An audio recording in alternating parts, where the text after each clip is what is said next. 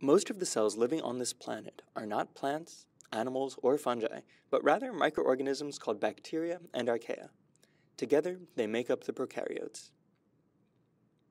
Prokaryotes come in lots of shapes and sizes spheres, rods, spirals, crescents, even stars, and are usually really, really small. A typical bacterium like this E. coli here is about 15 times smaller than a typical human cell.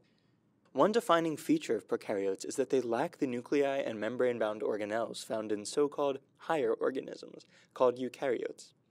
Although this might seem primitive compared to organisms like plants and animals, prokaryotes were the first forms of life on Earth, and so have had billions more years to evolve and adapt than we humans have.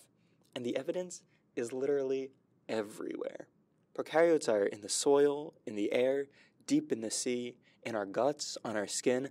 In fact, there are more bacterial cells living in and on your body than there are human cells. Some live in extremely acidic environments and some in extreme hot or extreme cold.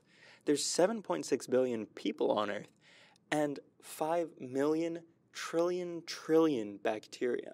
5 with 30 zeros following it. And although they don't have nuclei, they can build sophisticated structures. Some have complex machines on their exteriors, such as long, whip like flagella used for movement, or small protrusions called pili that they can use to exchange genetic information. And prokaryotes actually make up the overwhelming majority of diversity of life on Earth as well. For example, strains of bacteria in the human gut are less genetically related to each other than humans and lettuce. Not only are they extremely sophisticated, they also make life possible. The majority of oxygen in our atmosphere was first produced by prokaryotes.